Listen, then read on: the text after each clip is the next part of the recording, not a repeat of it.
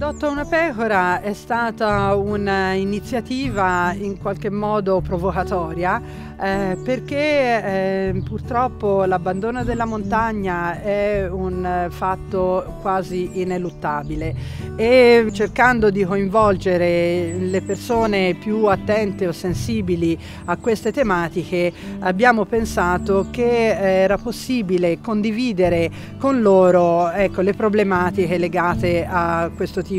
di allevamento, alle nostre scelte imprenditoriali. Naturalmente ecco, noi alleviamo una razza molto rustica, antica, ormai in via d'estinzione come la razza sopravvissana, proprio perché è un animale estremamente frugale che riesce quindi a utilizzare in maniera eccellente anche i pascoli, seppure abbastanza poveri, di questo territorio. Eh, di conseguenza, essendo molto poco produttiva, ehm, abbiamo ecco, de, dei costi di produzione eh, piuttosto sostenuti, ma è necessario continuare a allevare in, in questa maniera tradizionale proprio perché eh, la montagna richiede eh, mm, l'utilizzazione ecco, delle risorse naturali. Mm, difendere queste tecniche di allevamento estensivo significa garantire quella biodiversità, quella tutela del territorio che è assolutamente necessaria anche per proteggere proprio gli insediamenti eh, urbani anche dei piccoli, piccolissimi paesi come quelli che caratterizzano il nostro Appennino centrale. E, ehm, e quindi ecco, eh, il vantaggio per il genitore adottivo che naturalmente sottoscrive un vero e proprio contratto a norma del codice civile come acquisto di bene futuro ha la possibilità di ottenere innanzitutto prodotti biologici eh, di assoluto pregio eh, sia per eh, la mh, qualità della trasformazione per lo più biologica eh, sia proprio anche per il valore nutrizionale organolettico che questi prodotti garantiscono,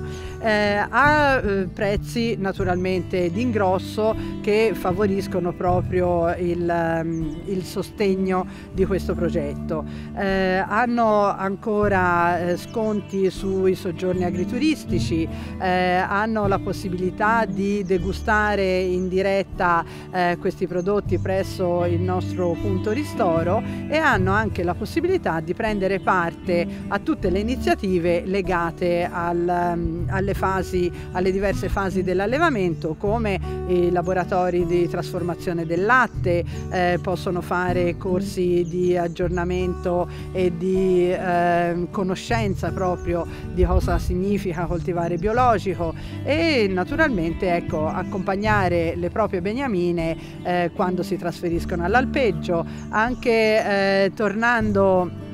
in uh, eh, modelli di, di, vita e di lavoro assolutamente autentici e assolutamente sostenibili. L'iniziativa eh, che abbiamo avuto il privilegio di vedere pubblicata sul New York Times eh, ha raggiunto eh, persone interessate da tutti e cinque i continenti, tant'è vero che abbiamo la possibilità proprio grazie a internet di raggiungere qualunque parte del mondo. Il modello adotta una pecora ha rappresentato una buona prassi per tanti altri agricoltori e allevatori che hanno utilizzato questo stesso eh, eh, percorso per garantire ecco, alla propria attività un risultato economico eh, soddisfacente. Eh, tanti ci hanno detto perché non eh, brevettare un'idea così geniale,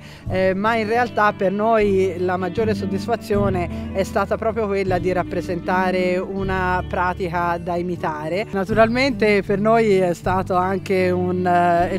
d'orgoglio che fra i genitori adottivi eh, annoveriamo personaggi anche importanti, eh, almeno per la nostra storia recente, come Renzo Arbore fra i primi, eh, Mogol, ehm, quando hanno girato anche un film eh, partendo appunto da Anversa degli Abruzzi, abbiamo avuto anche l'opportunità di eh, far adottare una pecora Raul Bova piuttosto che alla Cortellesi e quindi ecco è un modo anche questo di avere una, eh, un sostegno eh, da parte di personaggi che sicuramente sono eh, come dire opinion leader in qualche modo e che quindi sostengono a pieno titolo queste iniziative. Abbiamo avuto eh, la, dalla CNN alla BBC eh, televisioni emittenti eh, che hanno parlato di questa iniziativa e hanno sicuramente contribuito a una grande diffusione di questo semplice sistema eh, di gestione, tant'è vero che oggi si alleva, eh, si adotta un po' di tutto, ecco, dalle piante d'olivo agli agrumi, a eh, altri eh, soggetti che sono parte di allevamenti eh, zootecnici altrettanto genuini come il nostro. Quindi in qualche modo abbiamo rappresentato un modello virtuoso, il fatto di poter proporre un modello eh, molto meno impattante dal punto di vista dei consumi rappresenta non soltanto una difesa della cultura passata ma sicuramente anche un buon modello per lo sviluppo futuro sia per noi che per i nostri successori.